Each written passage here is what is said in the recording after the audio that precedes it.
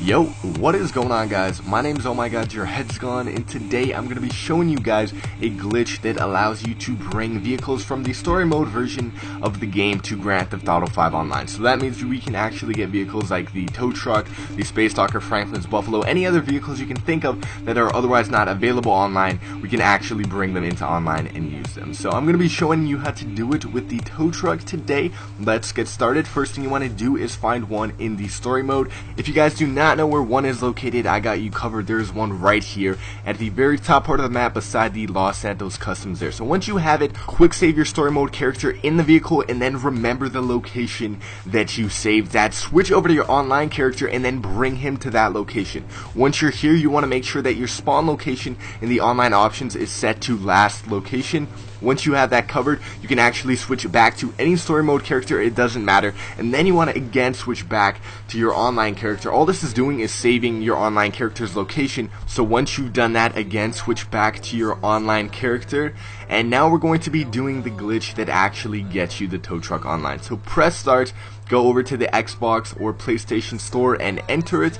Once you're beginning to enter it, you want to press the guide button or the middle button and sign out of uh, your Xbox account or your PlayStation 3 account. And if you timed it right, the prologue is going to load up. And then once it does load up, you want to just sign back into your actual online account. So here it loaded up. I'm going to sign back into my account and then once I've done that, all I'm going to do is press start from here and then load up the game where I saved the tow truck. So I'm loading up that story mode uh, session where I saved that tow truck. So you're going to see it loads up. I spawn in the tow truck in the story mode and then all I have to do from here is switch back to my online character and I'm going to have the tow truck there guys. So if you've done everything right, you should have the tow truck after doing this. As you can see, I'm joining a public session.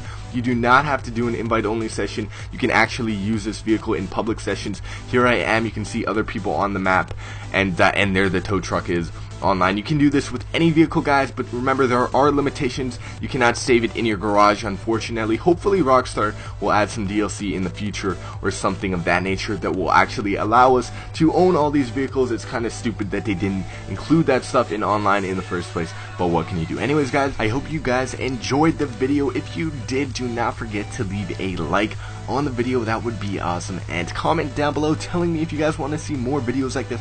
Also, check out my 50,000 subscriber giveaway. There should be an annotation somewhere on the screen. You guys can win a brand new free game of your choice. Otherwise, if you guys are new to the channel, subscribe. That would be awesome as well. And uh, thank you guys for watching the video. Have a great day. Peace out.